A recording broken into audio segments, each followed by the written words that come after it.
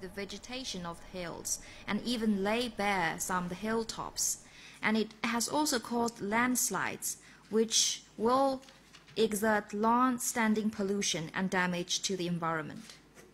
现在我们已经采用了比较先进的原地浸矿的工艺，但是原地浸矿要用大量的硫酸铵使我们的这个表面的植被啊，两三米要打一个这么大概五六十厘米的一个一个洞，在整个的植被上形成一个网格化的这么一个这个洞，在这个洞里面加注这个化学试剂叫硫酸铵，然后硫酸铵加进去以后呢，再加水，不断的让它这个稀土离子随着硫酸铵的分离能够流出来。但是，开采一吨的稀土氧化物要耗费七吨的硫酸铵，这些大量的硫酸铵长期的滞留在地下，如果遇到下雨，或者重大的长期的地下遇到下雨，那么很可能会污染地下水。We now use relatively advanced techniques, namely the in situ leaching technique. But this technique uses large amounts of ammonia sulfate.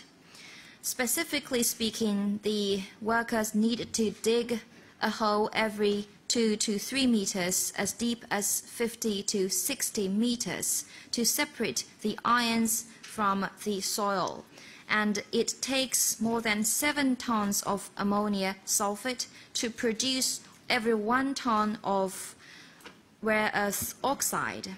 And this large amount of ammonia sulfate stays underground. When heavy rain occurs, it might cause pollution to the groundwater. 这个北方的重呃轻稀土的开采存在同样的问题。咱来看看这些照片。And the same problems apply to the rare earth exploitation and pr production in North China. You can see from this picture. 在整个稀土的分离冶炼当中，产生大量的含氟有毒尾气和氨氮废水，而且像包钢稀土，它还有 放射性的土这个元素。包钢呢，目前有1.8万吨的8万吨的尾矿，1.8亿吨的尾矿，然后占占地面积达到。十平方公里之多。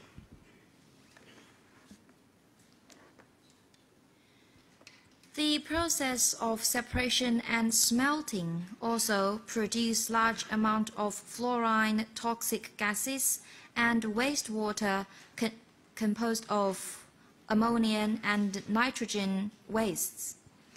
Take the Baotou steel, for example. It produces the element of thorium in the process of its separation and smelting, and it has accumulated a total of 180 million tons of tell minerals, which cover about 10 square kilometers of land. 问题是，在稀土的开采冶炼当中，有一些废水、废气、矿渣，我们还可以采取环境治理的办法来解决。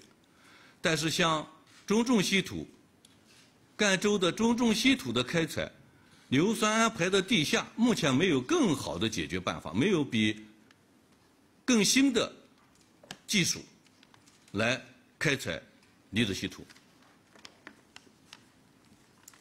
We have some measures of environmental treatment regarding the waste, water, gas, and residues in the process of exploitation and smelting.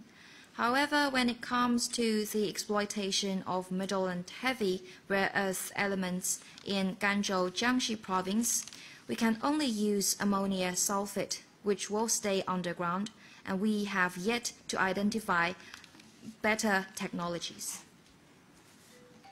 这个赣州的